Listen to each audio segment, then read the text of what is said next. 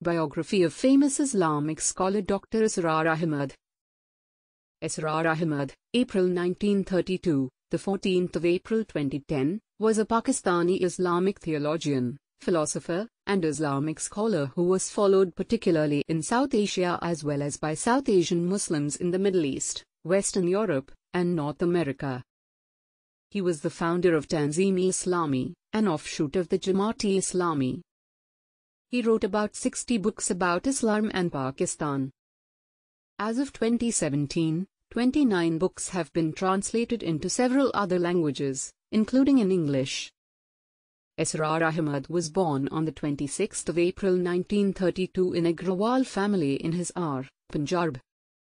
His father was a civil servant in the British government, who relocated his family from Hisar to Montgomery, now Sahiwal, Punjab province of Pakistan. After graduating from a local high school, Ahmad moved to Lahore to attend the King Edward Medical University in 1950. He received his MBBS degree from King Edward Medical University in 1954 and began practicing medicine. In addition, he obtained his master's degree in Islamic studies from the University of Karachi in 1965. Ahmad worked briefly for Muslim Students Federation in the independence movement and, following the creation of Pakistan in 1947, for the Islami Jamiat-e Talaba and then in 1950 joined Jamaat-e-Islami led by Abul A'la Maududi, but left the party when the latter opted for participating in electoral politics in 1957. Ahmad resigned from the Jamaat-e-Islami in April 1957 because of its involvement in national politics, which he believed was irreconcilable with the revolutionary methodology adopted by the Jamaat in the pre-1947 period. His interest in Islam and philosophy grew further and he subsequently moved to Karachi, Sindh province in the 1960s. He criticized modern democracy and the prevalent electoral system and argued that the head of an Islamic state could reject the majority decisions of an elected assembly. Dr. Israr Ahmad was awarded the Sitara-i-Imtiaz in 1981. He has authored over 60 books in Urdu on topics related to Islam and Pakistan, nine of which have been translated into English and other languages.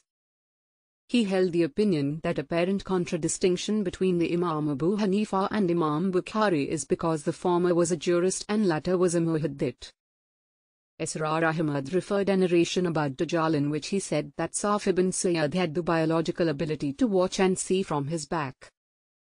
After the demolition of the Babri Masjid in India, Dr. Israr in one of his addresses criticized the vengeful demolition of Hindu temples in Pakistan, calling them un-Islamic and making the perpetrators the same as Hindu extremists in India.